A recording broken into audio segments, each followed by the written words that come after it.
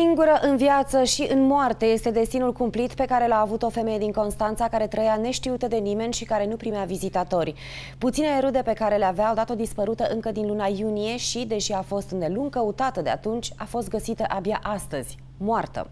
Fusese strivită de tavanul propriei locuințe.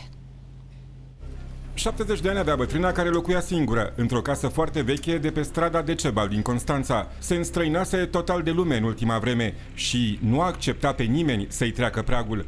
O mai vizitau nepoatele din când în când și mai lăsau la gard o sacoșă cu mâncare. Când acestea și-au dat seama că pachetele rămân acolo, în gard, neluate, au intrat în panică. Femeia a fost dată dispărută încă din luna iunie de către familie, care a vizitat-o de mai multe ori aici, a găsit poarta închisă, n-a putut să intre, nu știa nimic de soarta ei. Dispariția bătrânei a fost anunțată la poliție, dar chiar și așa, biata de ea nu a fost găsită. Înțeles că femeia ar fi fost dată dispărută din vară la poliție?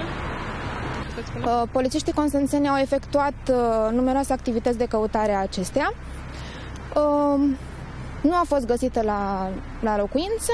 Între timp, rudele femeii au vândut casa în care ea locuise înainte să fie dată dispărută. Iar acum, când muncitorii au început să scoată molozul adunat de la pereții prăbușiți, au dat peste cadavrul ei. Prinsă sub bucățile mari de tavan, zăcea acolo probabil din luna iunie. Imediat au fost anunțate autoritățile. S-a deplasat o auto specială cu uh, șase pompieri uh, care au uh, înlăturat bucățile de tavan și bucăți din construcție Uh, din păcate, uh, sub acestea se afla o persoană decedată. Avea probleme de sănătate? A, probleme de sănătate, da, ea din copilărie era probleme. Are șase lucruri. Dar era casa ei aici? Da.